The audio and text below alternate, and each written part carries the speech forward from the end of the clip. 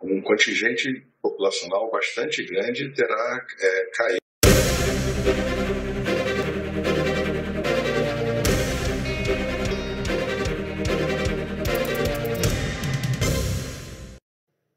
Onze horas e 32 minutos, a gente interrompe a nossa programação aqui na Globo News para informar que morreu aos 87 anos a atriz Eva Vilma. Ela lutava contra um câncer e estava internada no Hospital Albert Einstein, em São Paulo. Como vocês podem ver, né? chega uma altura depois de 66 anos de carreira, né? você começa a não saber mais quem você é, mas é muito. é muito compreensível. Foram várias décadas dedicadas à arte de interpretar. Dezenas de personagens viveram dentro de Eva Vilma.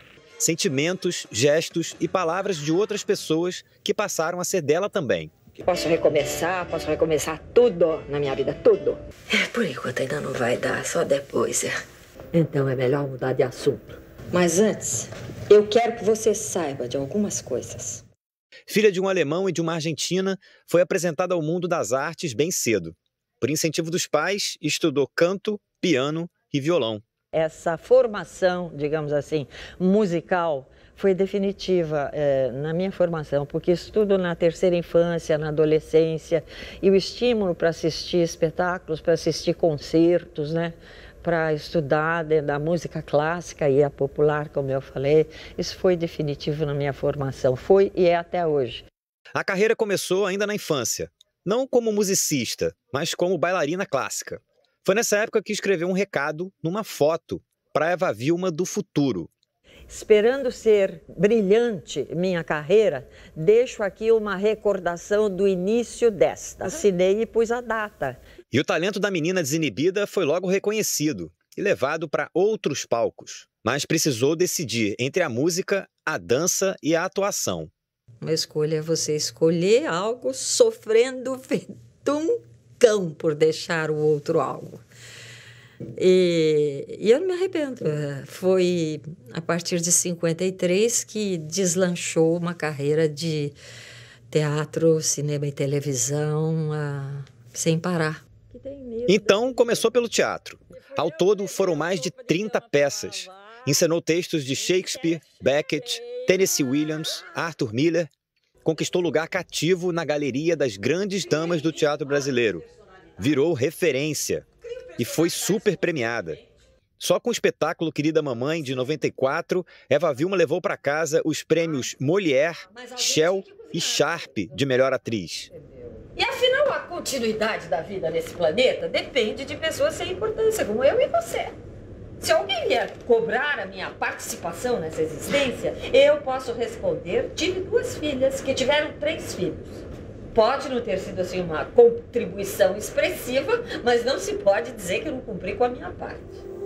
Mas foi na televisão que Eva Vilma virou estrela. O sucesso veio logo no primeiro trabalho, a série Alô Doçura, exibida na extinta TV Tupi em 1953. Um programa tão popular que ficou uma década no ar. Meu bem, você se incomoda se eu fizer uma perguntinha a você? Ah, claro que não, meu bem. O que é? Com que dinheiro você comprou tudo isso? Com aquele dinheiro que estava no armário, não era para isso, meu bem? Foi o precursor da sitcom. E o grande barato é que era uma historinha entre um homem e uma mulher sempre diferentes, sempre personagens diferentes. Podiam ser os mesmos atores, mas eram personagens diferentes. E podia ter mais personagens que interferiam na história também. Foi também em Alô Doçura que a atriz conheceu o amor fora da ficção. O ator John Herbert, com quem fez par romântico na série. Foram casados por 10 anos e tiveram dois filhos. Em 1973, ainda na TV Tupi, entrou para a história da teledramaturgia brasileira, deu vida às gêmeas Ruth e Raquel na versão original da novela Mulheres de Areia, de Ivani Ribeiro. Vamos conversar lá em cima, Raquel. Vem, vamos conversar lá em cima. E quem foi que disse para o senhor que eu estou com vontade de conversar? Que eu quero é um drink. Já disse que chega! E quem é você para me dizer o que chega e o que não chega, hein? Será que você ainda não entendeu que ninguém manda em mim, que eu não sou escrava de ninguém? Eu mudava o repartido do cabelo, porque era isso que eu fazia. Uma personagem, a Ruth, eu repartia do lado e punha um grampinho e tirava o batom. A Raquel, eu me descabelava e punha batom. O vestido era simples, trocava atrás da tapadeira. Parabéns,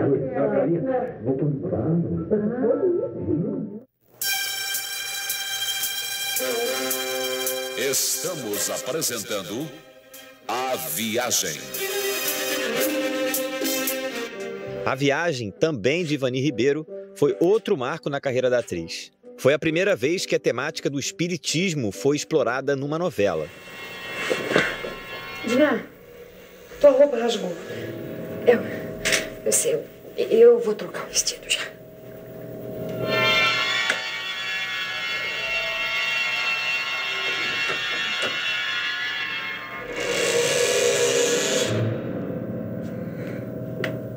Sempre na vanguarda, Eva Vilma também foi uma artista preocupada com questões políticas e sociais. No fim da década de 60, se posicionou com coragem contra a ditadura militar e a censura, ao lado de outras atrizes consagradas como Tônia Carreiro, Odete Lara, Norma Bengel e Ruth Escobar. Eu acho que nos momentos de exceção, aqueles que ocupam um lugar de muita responsabilidade, como, que, ou como sejam os, os atores que alcançaram uma grande popularidade né, através da televisão, é, quando são questionados, eles não podem se omitir. Quando aparece a oportunidade, é, a gente tem o dever de, de, de se colocar. Com o fim da TV Tupi, em 1980, Eva Vilma foi contratada pela TV Globo, onde faria uma sequência de dezenas de trabalhos. E o primeiro deles foi a Rebeca de Plumas e Paetês, um reencontro em cena com o ex-marido John Herbert. Não me diga que você vai se casar novamente. Eu pretendo. Quando? Bom, imediatamente, se possível. Mas que ótimo, doutor Márcio.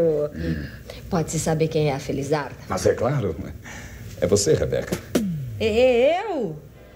No ano seguinte foi a vez da sofrida Hilda, em Ciranda de Pedra, novela baseada no livro de Lígia Fagundes Teles. Vamos aproveitar esse maravilhoso dia de sol. Vá, minha querida, vá. Diga a Daniel para vir até aqui. Eu já estou quase pronta. Ah, que dia maravilhoso, meu Deus.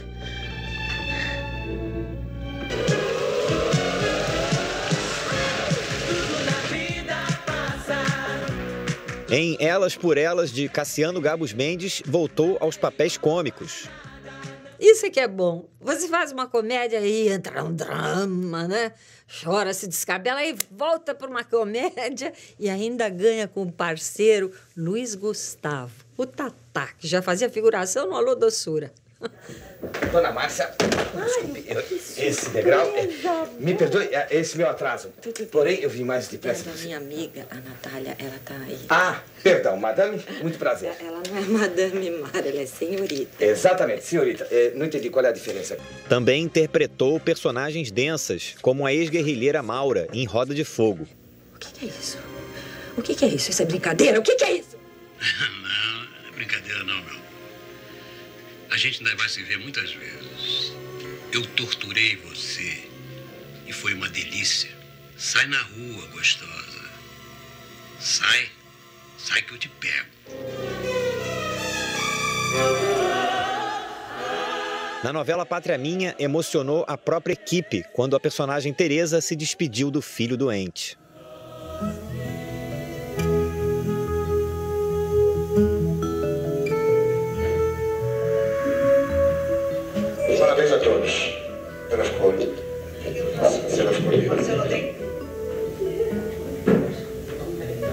Outro trabalho importante foi em Mulher. Exibida entre 1998 e 1999, a série tratava com coragem de vários assuntos sensíveis ao universo feminino.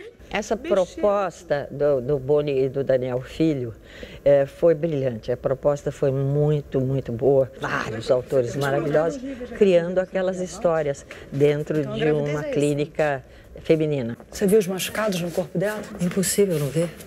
Além dos machucados, tem uma laceração perineal importante. Para provar que houve estupro, até três, no máximo quatro dias. Agora é muito difícil provar que ela foi violentada. Mas isso é a idade das trevas.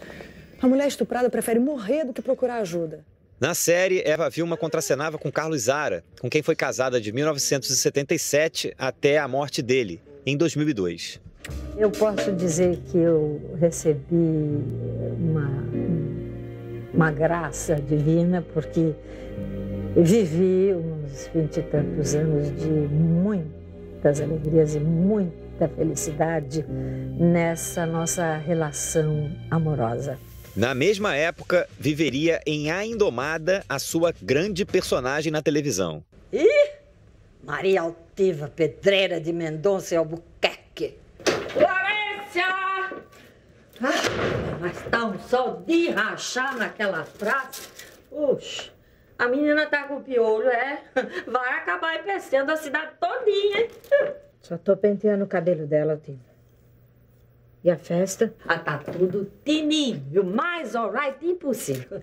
A vilã Maria Altiva aterrorizou os moradores da fictícia e memorável Greenville. Você gosta de fazer vilãs? Olha, todo ator gosta, porque é um grande filão. Os vilões têm sempre uma grandiosidade. Eles são sempre pessoas, na maior parte das vezes, absolutamente desesperadas. Eles vão aos extremos, eles não têm limites. Então, são personagens que permitem grandes olés. Sabe como é? Grandes uh, gols. Me aguarde!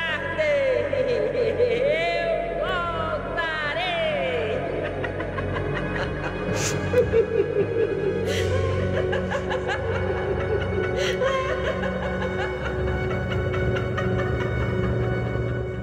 Eva Vilma também fez cinema. Foram mais de 20 filmes. Entre eles, São Paulo Sociedade Anônima, de 1965. Escrito e dirigido por Luiz Sérgio Persson, virou um clássico nas décadas seguintes. Foi de, de toda a minha filmografia, ah, talvez o filme que mais satisfação me deu. Faz não só realizar, como mais resultados, né? Qual é o motivo dessa palhaçada toda? Nenhum que eu possa explicar. Mas se você quiser um pretexto, você pode dizer que eu fiquei doido. Covarde, covarde, covarde, covarde!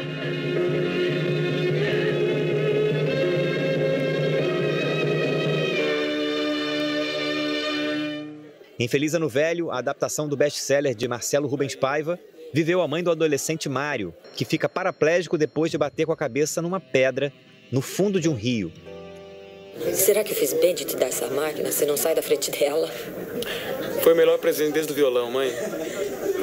Vou indo que eu já vou.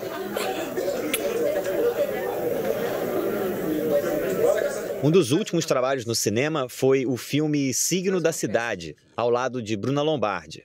Foi a primeira vez que eu fiz uma personagem homossexual e gostei demais da cena. Acho que fiz bem a cena. Era uma cena pequena e gostei também da história que a Bruna escreveu e do trabalho dela. E gostei do filme.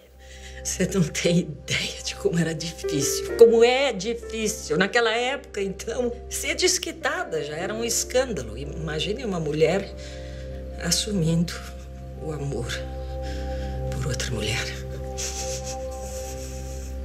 É duro o preconceito. Entre os trabalhos mais recentes estão a peça Azul Esplendor, a última atuação no teatro. Eu escrevi essa peça para você mudar. Uma peça para que Branca Estela, amiga, seja a estrela que sempre foi. Vai, então fora daqui, vai. Me deixa em paz aqui no meu canto. E a novela O Tempo Não Para, em que viveu a cientista Petra, personagem que, por uma triste coincidência, previu na ficção o que acabou virando realidade. Eu acho que vocês ainda não entenderam. Esse vírus é uma mutação, portanto, não há qualquer defesa contra ele.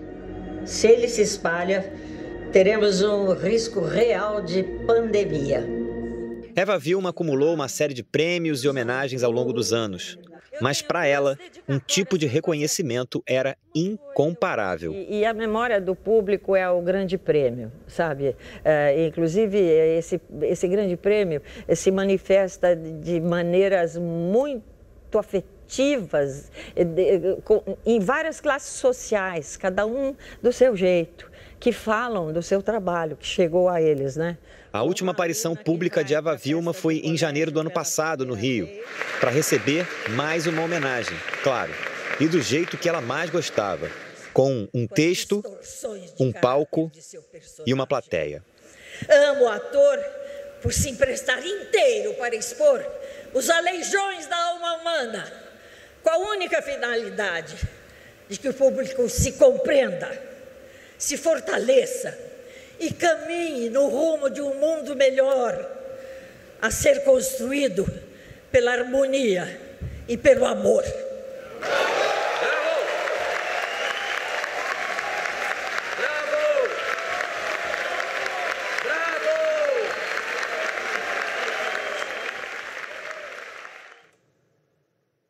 Eva Vilma estava internada desde o dia 11 de abril no hospital, na unidade de terapia intensiva do Hospital Albert Einstein, que fica na zona sul de São Paulo, quando deu entrada para tratar de problemas cardíacos e renais. No dia 8 de maio, Eva Vilma foi diagnosticada com câncer de ovário. Segundo o comunicado da assessoria de imprensa, a doença evoluiu para uma insuficiência respiratória e a atriz não resistiu. A gente conversa agora com o ator